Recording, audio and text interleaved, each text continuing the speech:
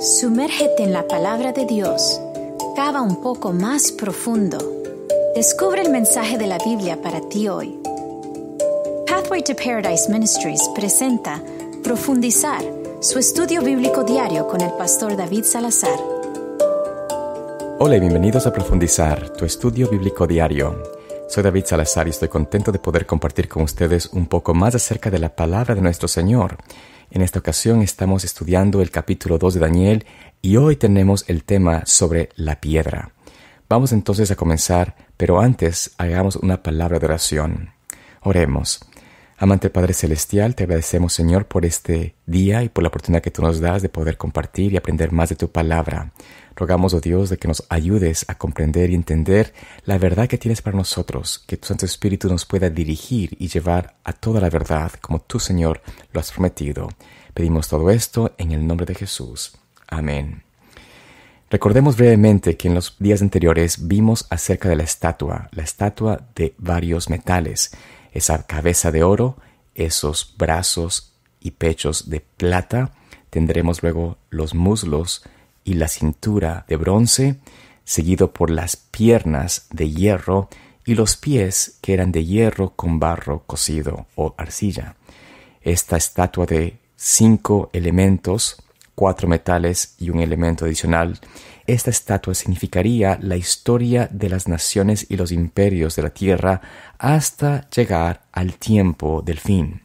Y vamos a ver en el capítulo 2, versículos 34 y 35, lo que el Señor dijo a Nabucodonosor a través de Daniel. Leemos. Mientras tú mirabas, una piedra fue cortada, sin intervención de ninguna mano, que hirió a la estatua en sus pies de hierro y arcilla y los desmenuzó. Entonces se desmenuzaron también el hierro, la arcilla, el bronce, la plata y el oro, y se volvieron como el tamo de las eras del verano, que el viento llevó sin dejar rastro alguno, pero la piedra que hirió a la estatua llegó a ser una gran montaña que llenó toda la tierra.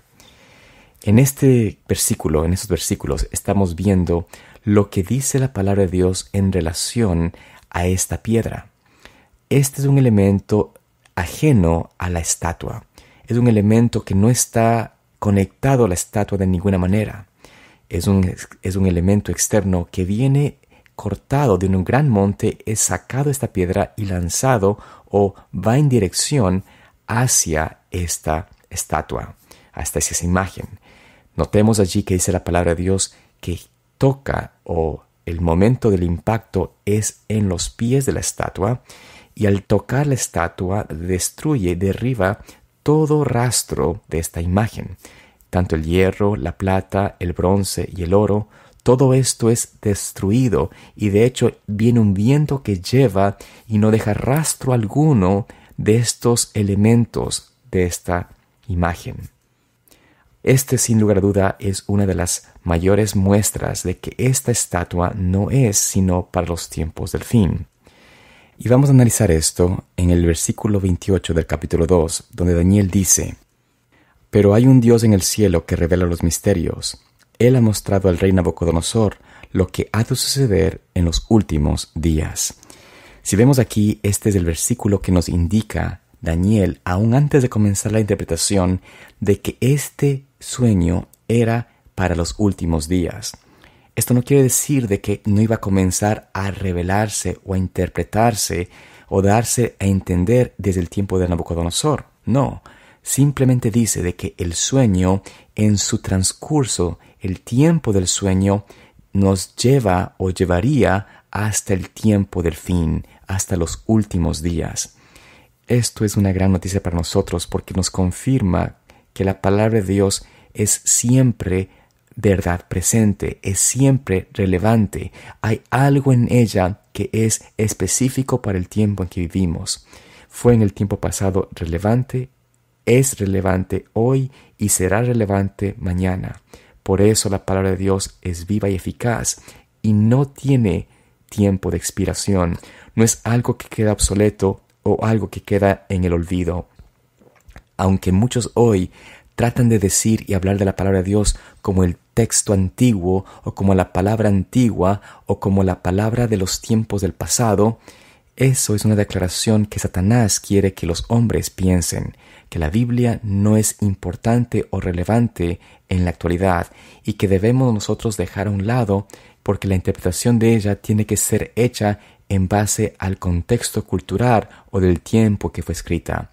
Estas son una de las maneras como hoy muchos teólogos, muchos hombres que tratan de traer duda de la autoridad de la Biblia, lo hacen trayendo razonamiento y filosofías humanas. Gracias a Dios, nosotros no creemos en esto, sino que creemos en la autoridad explícita y la autoridad divina de la palabra de Dios. Pero continuemos en relación a Daniel capítulo 2, qué es lo que sucedía con esta piedra. Mientras el rey tal vez estaba familiarizado con el simbolismo de los cuatro metales antes usados en el sueño, el simbolismo de la piedra habría sido algo completamente nuevo para él. La piedra y la destrucción de esta imagen con los metales que representan los imperios del mundo tiene algo interesante porque nos da lecciones relevantes sobre el destino final de nuestro mundo.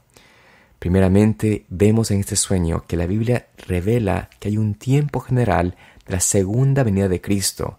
Esto es, es un tiempo después de que los cuatro primeros imperios tomaron posesión y que luego vendría un imperio donde habría una división, habría un reino dividido, habría un reino que tendría algo de fortaleza y algo de debilidad, un reino diferente, un reino que no sería exclusivamente un reino político o una monarquía, era un reino mezclado. Esto es los pies de hierro y arcilla. Luego vendrá la piedra que simboliza el reino de Dios y su establecimiento en la tierra es un evento literal, tal real como los antiguos imperios del mundo representados por los cuatro metales. También el reino de Dios será el reino final que reinará para siempre en la tierra. Ningún otro lo destruirá. Y finalmente, la naturaleza del reino de Dios, representado aquí como una piedra cortada sin mano, será muy diferente a la de los imperios dirigidos por el hombre. Aquí entonces vemos cuatro características especiales acerca de esta piedra, esta piedra que es cortada sin mano. Y notemos algo acerca de esta expresión no cortada con mano. Esto quiere decir que este reino del Dios no se establece por voluntad humana, no se establece por mano de hombre. Y por esto el reino de Dios tiene como fundamento la mano de Dios. Vayamos a Éxodo 31, versículo 18, y leamos allí lo que Dios nos dice en relación a lo que es el fundamento de su gobierno, a lo que es el fundamento de su reino. Cuando el Señor terminó de hablar con Moisés en el monte Sinaí, le dio dos tablas de testimonio, tablas de piedra escritas con el dedo de Dios. En este versículo podemos ver cuando Dios otorgó a Moisés las tablas de piedra, las tablas escritas con el dedo de Dios, no por voluntad humana, no por mano de hombre, sino por el dedo de Dios. Estas tablas son el fundamento del reino de Dios y esto quiere decir que aquellos que vivan en su reino guardarán su ley. Vayamos a 1 Corintios 10:4 y leamos allí cuál es otro fundamento de este reino de Dios, de esta piedra que viene a la tierra.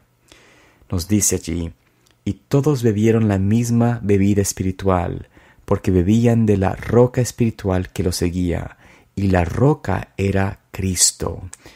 Este es sin duda otra de las fases de los fundamentos del gobierno de Dios para la tierra. Este reino de Dios se basa en la vida, la muerte, la resurrección y el ministerio que hace Jesucristo en el lugar santísimo. Aquellos que viven en su reino aceptarán a Cristo como su Salvador y su Rey. Muchos dicen hoy quiero estar en el reino de Dios, quiero conocer a Cristo, quiero verlo, quiero estar en el cielo. Pero ¿cuántos realmente quieren imitar a Cristo? ¿Cuántos quieren seguir al Maestro de Maestros? ¿Cuántos quieren honrar su nombre hoy, entregando su voluntad a Él y buscando cómo servir al prójimo? La mayoría de los cristianos, tristemente, no conocen a Cristo ni quieren estar en su reino. Para muchos, el fin del tiempo de gracia, el cumplimiento de la palabra de Dios, será una gran sorpresa, una sorpresa que no se esperaban, porque sus vidas estaban alejadas del Señor. Y por eso el Señor nos invita a leer su palabra, a escudriñar lo que estamos estudiando. No solamente para saber que la piedra simboliza la unidad de Cristo, que la piedra simboliza el establecimiento del reino de Dios en la tierra, es para que nosotros podamos estar preparados para entrar en ese reino. Al igual que a Nabucodonosor se le dijo en el versículo 30 que este sueño fue dado para que él entienda los pensamientos de su corazón, Dios quiere que también nosotros podamos analizar o entender lo que está en nuestro corazón, que nos demos cuenta en dónde hemos puesto nuestra confianza, en dónde hemos puesto nuestra atención, en dónde hemos puesto nuestros afectos.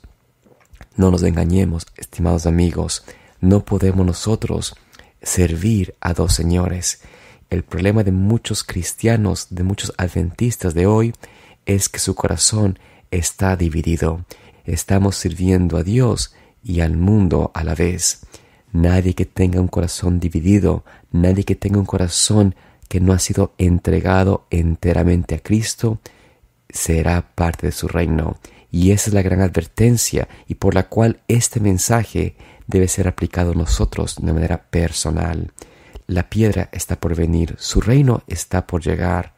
¿Seremos parte de ese reino? Mi oración y petición es que así sea, que podamos ser parte de ese reino. Pero vayamos ahora al último texto de hoy que se encuentra en Mateo 24-25.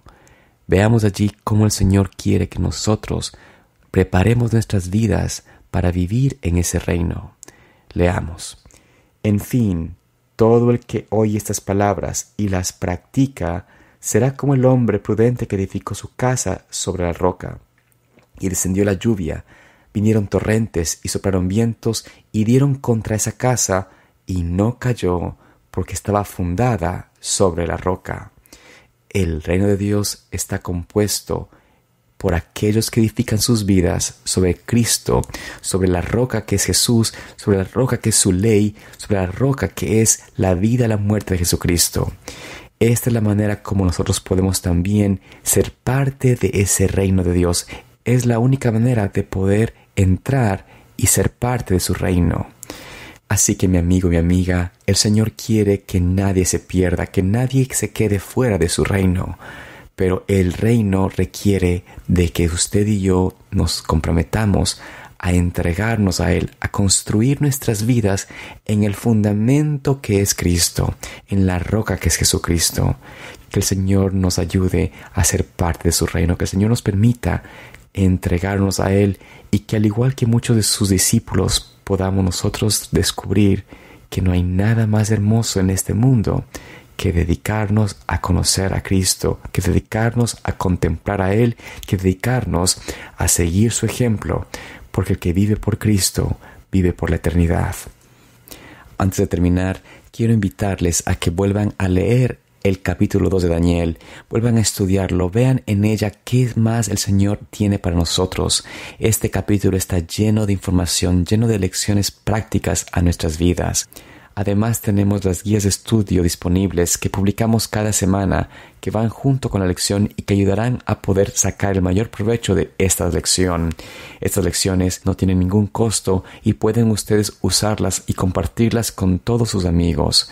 Nuestro interés es que volvamos a la palabra de Dios. Queremos que los hombres, las mujeres de hoy puedan ser personas que conozcan la palabra de Dios, que puedan estudiarla, puedan abrirla, puedan compartirla y que ella hable a su corazón, que ella sea la que sea exaltada, porque lámpara es a mis pies tu palabra y lumbrera mi camino. Que el Señor te bendiga y te guarde y esperamos vernos aquí en Profundizar el día de mañana. Profundizar es una producción de Pathway to Paradise Ministries. Para obtener más recursos de estudios bíblicos, incluidos libros, DVDs y guías de estudio, visite elcaminoalparaíso.org o llame gratis al 855-447-8788. Para apoyar este ministerio con su contribución deducible de impuestos, visite elcaminoalparaíso.org o llame al número gratuito 855-447-8788.